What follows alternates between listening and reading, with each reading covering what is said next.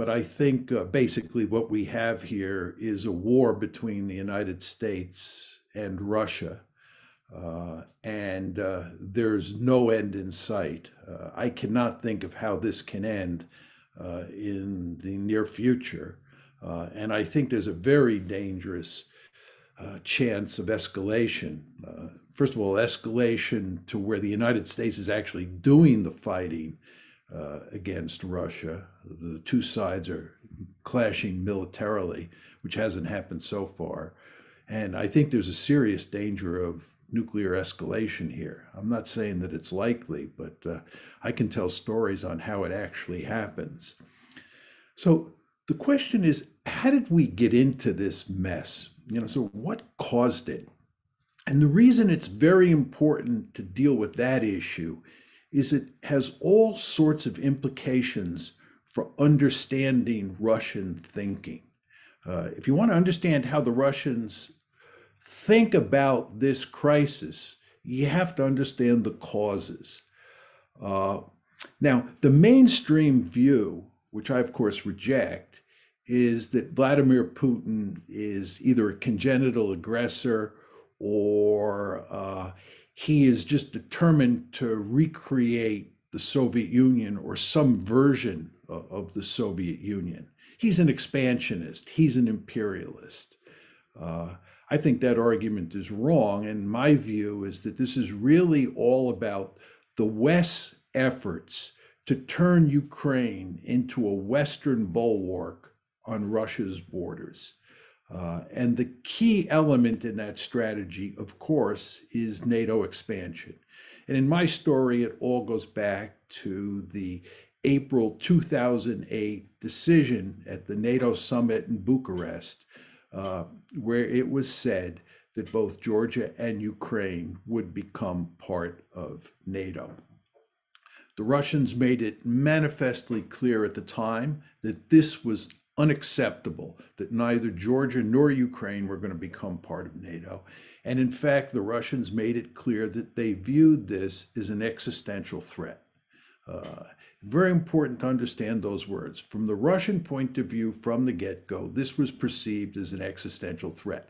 Lots of people in the West do not believe uh, it is an existential threat to the Russians, but what they believe is irrelevant because the only thing that matters is what Putin and his fellow Russians think, and they think it is an existential threat. Uh, now, I think, to be honest, that the evidence is overwhelming that this is not a case of Putin acting as an imperialist, uh, and it is a case of NATO expansion. Uh, if you look at his February 24th speech justifying why uh, Russia invaded Ukraine. It is all about uh, NATO expansion uh, and the fact that that is perceived to be by him uh, an existential threat to Russia. If you look at the deployment of forces in Ukraine, it's hard to make the argument that the Russians are bent on conquering and occupying and integrating Ukraine into a greater Russia. Uh, if you listen to Zelensky talk about a possible solution, the first thing he goes to is talking about creating a neutral Ukraine. That tells you that this is really all about NATO expansion and Ukrainian neutrality. Furthermore, there is no evidence of uh, Putin saying that what he wants to do uh, is actually make Ukraine part of Russia. Uh, there's no evidence of him saying that this is feasible uh, and that he intends to do it. Uh, there's no question that in his heart, he would like to see uh, Ukraine be part of Russia. Uh, in his heart, he would probably like to see the Soviet Union come back. But as he has made manifestly clear, that is not possible. And anybody who thinks that way is not thinking straight. He has, in effect, said that. Uh, so I would like someone to point out to me the evidence where he makes it clear that what he is actually doing in terms of formulating policy is trying to create a greater Russia or reconstitute the Soviet Union. Uh, All of this is to say, if you believe, like I do, that he is facing an existential threat, you're in effect saying he views this as a threat to Russia's survival. And if he's in a situation like that, he cannot lose. When you face an existential threat, you don't lose. You have no choice. You have to win. Now, this brings us to the American side. What are the Americans doing? What we're doing, which is what we did uh, after the crisis broke out on February 22nd, 2014, is we're doubling down. Uh, we have decided that what we're going to do is we are going to defeat Russia inside of Ukraine. We're going to deliver a decisive defeat against the Russians inside of Ukraine. And at the same time, we're going to strangle their economy. We're going to put wicked sanctions on them and we're going to bring them to their knees. We, in other words, are going to win and they're going to lose. Furthermore, the Biden administration and the president himself has gone to enormous lengths to ramp up the rhetoric and portray the Russians as the font of all evil and to portray us as the good guys and to create the impression in people's minds that this is a situation that doesn't lend itself to compromise because you can't compromise with the devil. In fact, what has to be done here is we have to win. Now, you know that it would be a devastating defeat for Joe Biden if the Russians were to win this war. And of course, as I just said to you, from the Russian point of view, they have to win this war because this is an existential threat that they are facing. So the question you then want to ask yourself is where does that leave us? Both sides have to win. It's impossible for both sides to win. Not when you think about the situation that we're facing here. So, how do we get a negotiated settlement? I, I just don't see it happening. I don't see the Russians giving any meaningful ground, and I certainly don't see the Americans given any meaningful ground. So, what is likely to happen? There's now talk on our side and even on the Russian side that this war is going to go on for years. In other words, we're going to have a war between the United States and Russia that goes on for years. Now, I understand that we are not involved in the fighting at this point, but we're about as close as you can get to being involved. And then you start saying to yourself, is it not possible that we will get dragged into this one? Uh, there's a huge amount of political pressure on the Biden administration for us, you know, to implement the no-fly zone, to actually go in for humanitarian purposes to Ukraine, and so forth and so on. So far, so far Biden has been able to resist that pressure, but will he be able to resist it forever? And what if we have a military incident that drags us into the fighting? So we could very well end up in a situation where the United States and Russia are fighting against each other in Ukraine. Then we come to the issue of nuclear escalation. Uh, I think, first of all, if the United States gets dragged into a fight against Russia uh, and it's a conventional war in Ukraine or over Ukraine in the air, uh, the United States will clobber the Russians. Uh, if the Ukrainians are doing so well against the Russians militarily, you can imagine how much better the Americans will do in air to air engagements and even on the ground, right? In that situation, don't you think it's possible that Ukraine, I mean, excuse me, that Russia would turn to nuclear weapons? I think it's possible. Uh, I've studied a lot of military history. I've studied the Japanese decision to attack the United States at Pearl Harbor in 1941. I've studied the German decision um, to launch World War I during the July crisis in 1914. Uh, I've looked at the Egyptian decision to attack Israel in 1973. These are all cases where decision makers felt they were in a desperate situation, and they all understood that in a very important way they were rolling the dice. They were pursuing an incredibly risky strategy, but they just felt they had no choice. They felt that their survival was at stake. Uh, so, what we're talking about here is taking a country like Russia, right, that thinks it's facing an existential threat, that thinks its survival is at stake, and we're pushing it to the limit. We're talking about breaking it. We're talking about not only defeating it in Ukraine, but breaking it economically. This is a remarkably dangerous situation. And I find it quite remarkable that we're approaching this whole issue in such a cavalier way. And by the way, I think a lot of this has to do with the fact that so many people who were involved in thinking about this problem today were raised during the unipolar moment and not during the Cold War. During the Cold War, as someone like Jack can tell you even better than me, we thought long and hard about nuclear war. We thought long and hard about US Soviet relations and how that might lead to a nuclear war. People who grew up in the unipolar moment are much more cavalier about these issues. And I think this presents a very dangerous situation.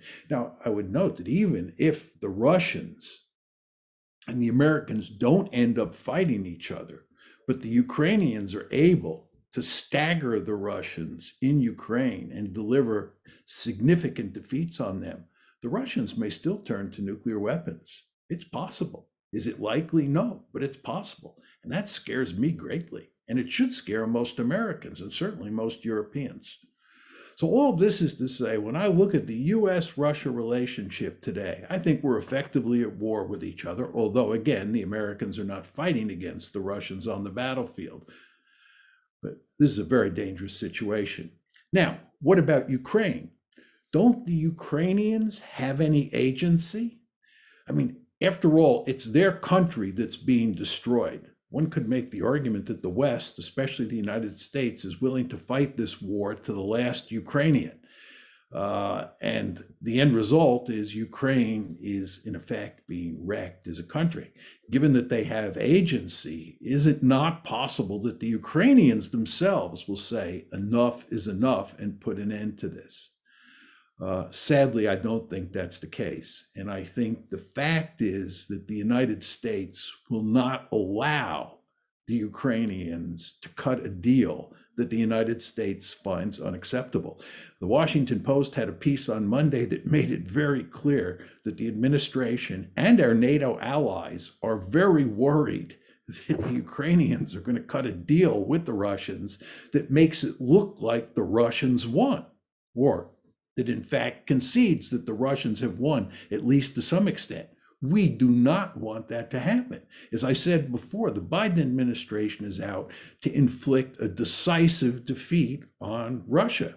If the Ukrainians decide to cut a deal and allow Russia to win in some meaningful sense, the Americans are going to say that's unacceptable. And the Americans will work with the right wing nationalists in Ukraine to undermine Zelensky or his successor. So I see no way Ukraine can stop, step in and put a stop uh, to this crisis. I just see it going on and on. Um, let me conclude by saying that George Kennan said uh, in the late 1990s uh, that NATO expansion was a tragic mistake uh, and that it would lead to the beginning of a new Cold War. Uh, at first, it looked like he was wrong. We had the first tranche of expansion in 1999, uh, and we got away with it. We had the second tranche of expansion in 2004, and we got away with that. But then, when the decision was made in April 2008 for a third tranche, which would include Georgia and Ukraine, it's quite clear that we had moved a bridge too far. And the end result, I'm sad to say, is that I think that Kennan's uh, prediction uh, has proved true. Thank you. Okay, well, um, thank you, Professor Mearsheimer, for that um, rather alarming uh, wake-up call. Um, I hope some people in uh, in positions of power here in Washington uh, are listening. Um, uh, Marlene, you're up. Thank you so much, everybody. Thank you for inviting me. Um, several points I wanted to make. The first one is that I agree about the shared responsibility of the West in the kind of strategy deadlock and the fact that Russia is seeing NATO expansion as an existential threat. But I would still dissociate the strategic de deadlock, which is a shared responsibility, from the decision to do war and to do that kind of war, a full-scale invasion targeting civilian. And for me, sorry, this is Russia's alone decision. In fact, it's Putin's alone decision taken against, sorry, the will of the majority of the Russian political establishment. So I think there was other ways for Russia to react than the war, and the war is weakening sorry, Russia's legitimacy on, on the long run. I have three key points I just wanted to make. The first one is the question of avoidability. The war was avoidable. It was not written in the Putin's regime DNA that they would invade. There was many other ways they wanted to be influential and to keep spheres of influence. And of course, Russia is a former colonial imperial center. It has disdain toward the new uh, uh, post-Soviet societies, but that could have stayed only at the kind of cultural, societal aspect, and that should may not have been transformed into into a war. And when I say that there are there are many ways of being a great power, and I think Russia has genuinely tested several uh, uh, of them, and really in the 2000s thought that integrating into the world community, into the world economy would make its voice heard and its claims kind of partly uh, uh, recognized. And it's only when they realize that this integration strategy was not working, that the kind of classic old-fashioned sphere of influence mechanism was not working, that they begin looking to other strategies that were more related to kind of maintaining, keeping, or provoking territory territorial instability in the, the, the, the, countries around. So what I'm trying to say that there have been for me a shift from Russia thinking it can keep Ukraine in a sphere of influence away from NATO to moving to a, a, a strategy that is now about territorial conquest or at least grab of land.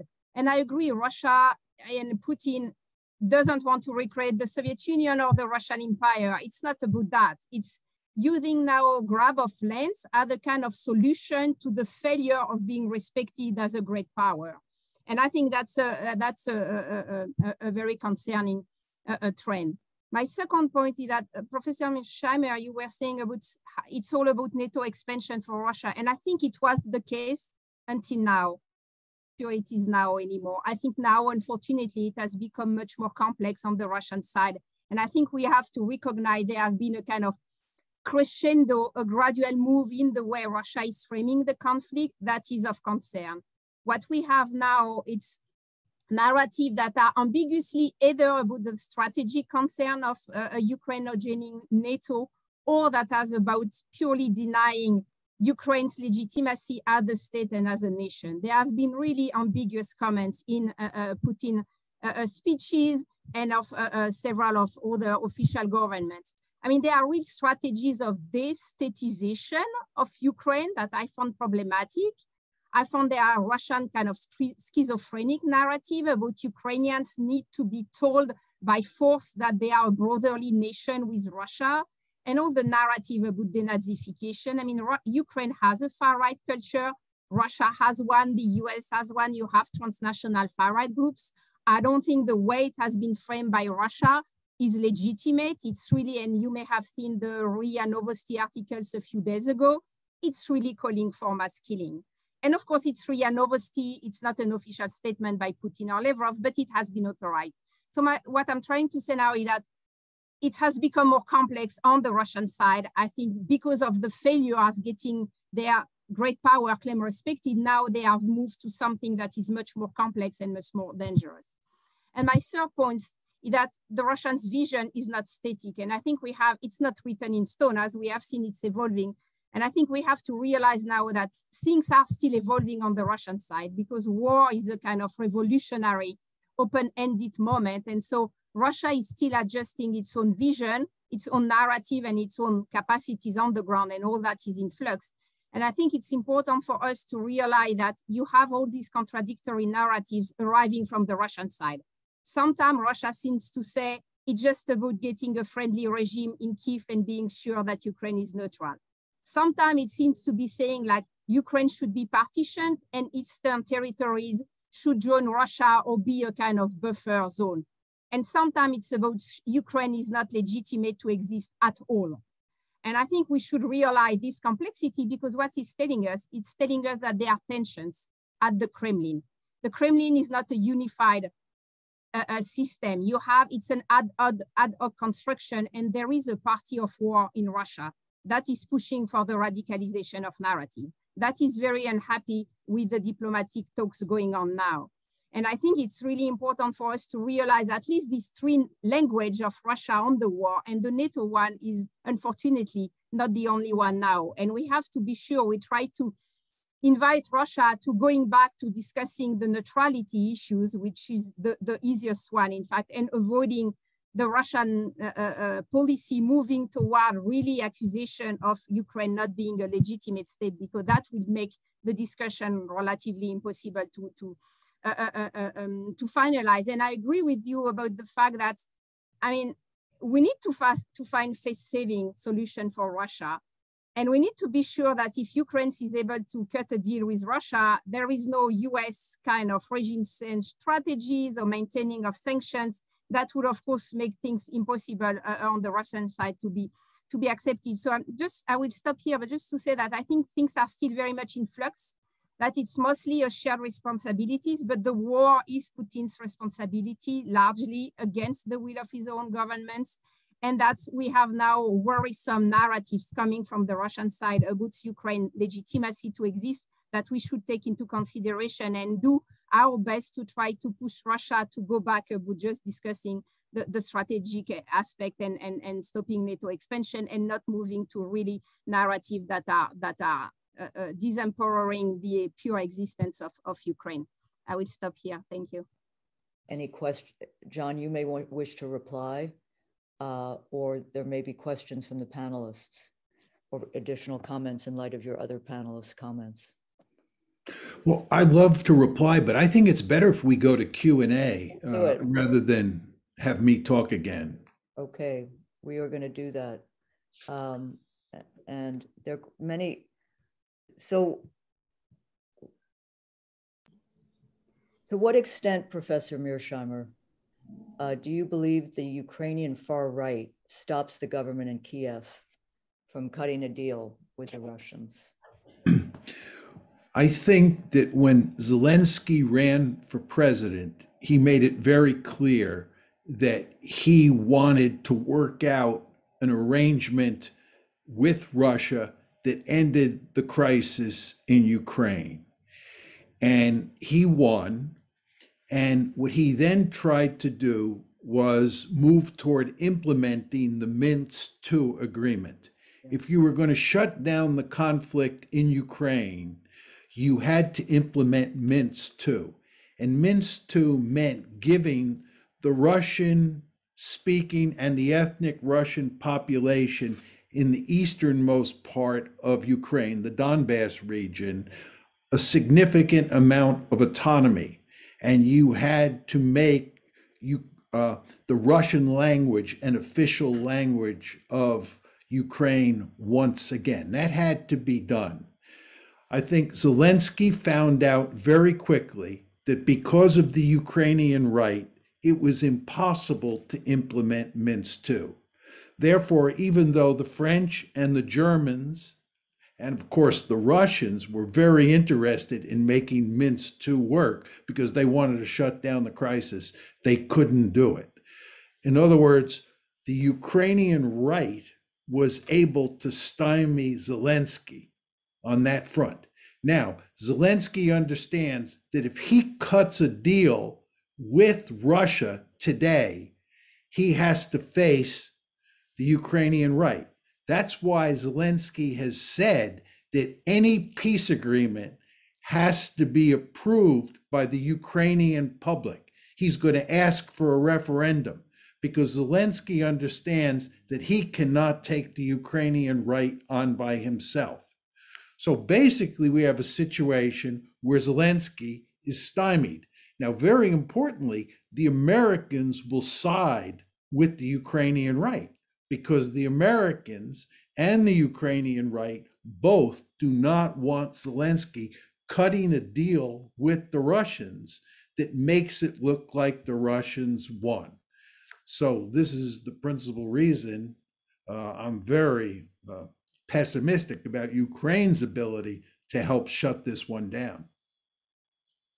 I Wanted to go back to Professor Mearsheimer to comment or to just speak in closing about um, the moment and what lies ahead. Thank you. Thank you, Katrina.